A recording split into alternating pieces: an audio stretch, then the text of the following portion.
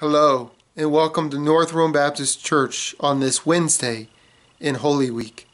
Let us pray. Lord God, whose blessed Son, our Savior, gave his body to be whipped and his face to be spit upon, give us grace to accept joyfully the sufferings of the present time, confident of the glory that shall be revealed through Jesus Christ, your Son, our Lord who lives and reigns with you in the Holy Spirit, one God for ever and ever. Amen.